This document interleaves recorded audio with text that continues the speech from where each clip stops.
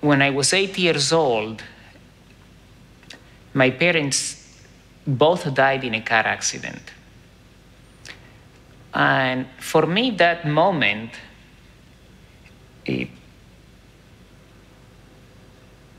life ended as I knew it.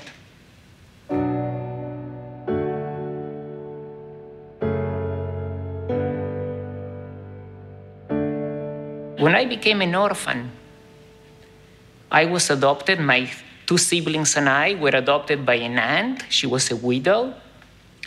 She had three kids, so we were six kids, no income. My aunt lived on a very small pension. We were very poor, but we were very united. And we didn't have material resources, but there was a lot of love. And there was the conviction that together we can pull it off. So I am eternally grateful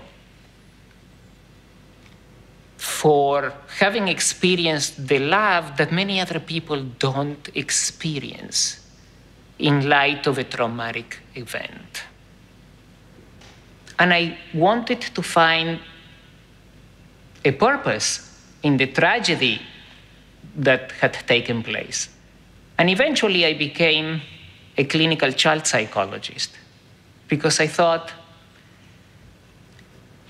I had developed some empathy for suffering that other, other people didn't have.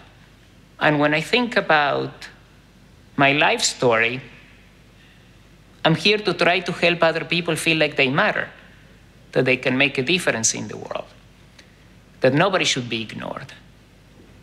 Nobody should be invisible.